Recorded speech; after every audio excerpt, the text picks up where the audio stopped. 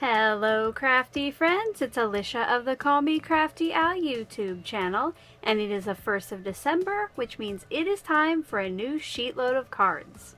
I hope you'll stick around, see what the sketch looks like this month, see the first set of cards I made using it, and find out how you can download the printable for free if you're a subscriber to my channel.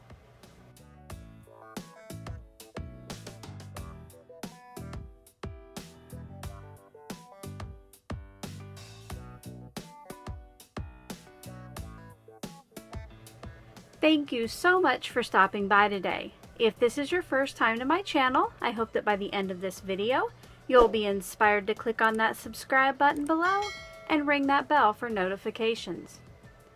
If you're already a subscriber and regular viewer, welcome back. I'm so glad that you're here again.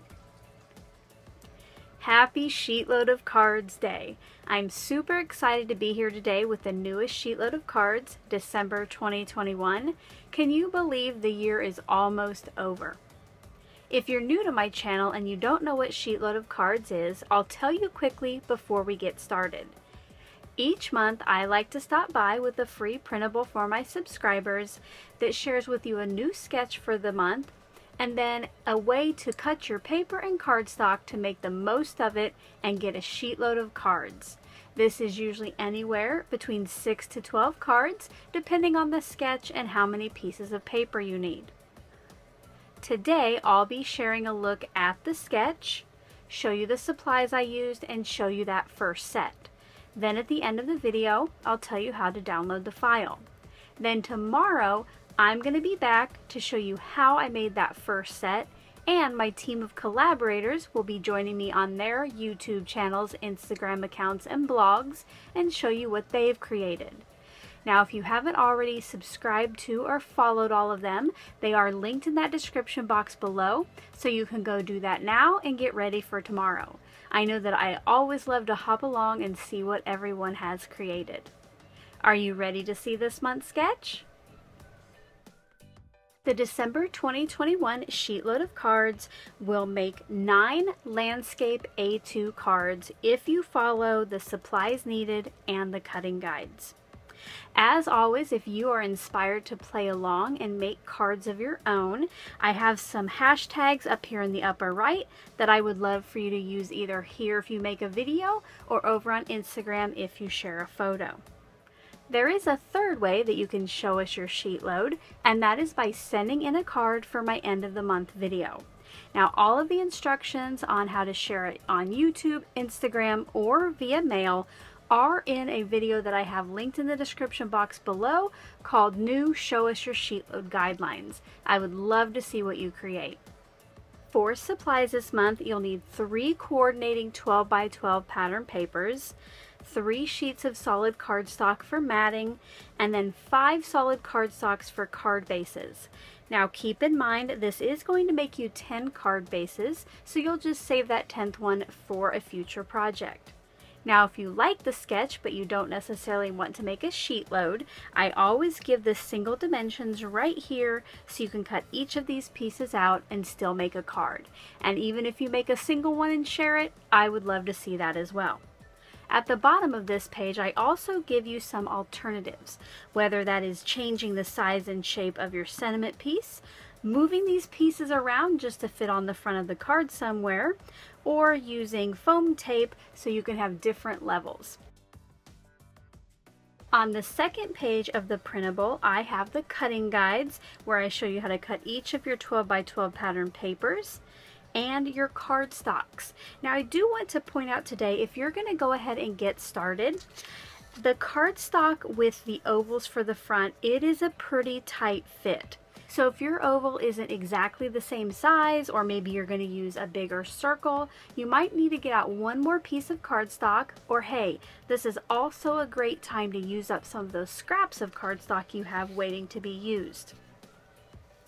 A couple new things on this month's printable is I have my Instagram account down here on the bottom right. If you don't already follow me on Instagram and you hang out over there, I would love for you to follow me. I do have a direct link at the bottom of my description box. Then over here on the left, I have find out how to show us your sheet load and I have a bit.ly link that you can either type in or if you have the PDF pulled up on screen you should be able to click on that and then go to that video where it gives you all of the details on how to play along. Let's go ahead and take a look at the main products that I use for this month's cards. For my ovals, I got out my Spellbinders Oval Nestabilities in regular and scallop, and I have a feeling I am missing one here, but I used this size right here, and it's almost exactly what I needed. But again, you can use a different shape or a different size. I grabbed three pieces of light pink cardstock for my mats. Then for my pattern papers, I'll be using some sheets from the Splendor collection from My Mind's Eye. This was probably a scrapbook page kit that I got at Tuesday morning, and I'm finally getting it out to use it. You'll see that for the cards, I use these three pieces, and then for my sentiment oval, I actually use the open area over here. I love this piece with the florals on the edge, but it really didn't fit with this month's cutting guide. The kit also came with some great die cut stickers, so I use these as accents on my cards. Speaking of cards, let's go ahead and take a look at my first set.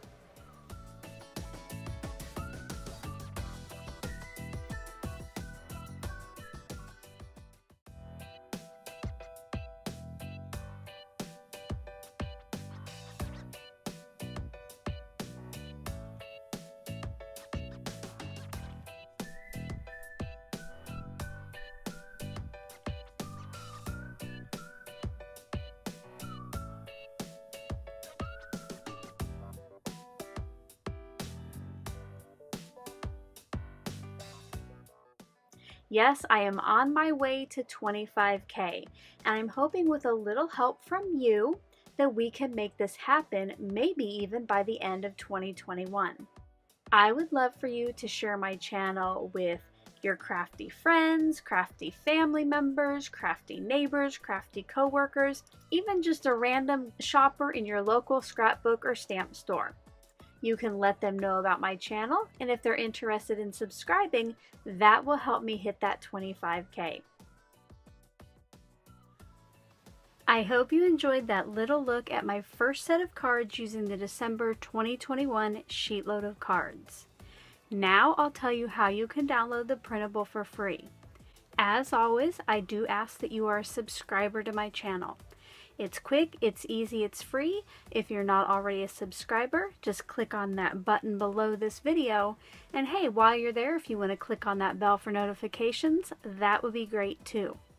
I do just go on the honor system though. I don't make you email me with any kind of proof or for a link. So please, before you click on the PDF file, which I will tell you where that link is here in just a second, make sure that you're subscribed you will find this month's link down in the description box right above my PO address. You can click on that and download it and print it, or you can just click on it and view it on screen while you create. And even though mine is printed in color, this will work just great in black and white as well. It will say under the link to watch the video for the password, but you watching the video to this point is your password. None will be needed for the file. Thank you so much for stopping by, and until my next video, which will be the process, I hope you're all having a crafty day. Bye-bye. Thank you so much for taking the time to watch all the way to the end of the video. I hope now you'll consider clicking on one of the videos or playlists I have linked above, and if you're interested in any of the products or tools I used in today's video, I do have some links in the description box.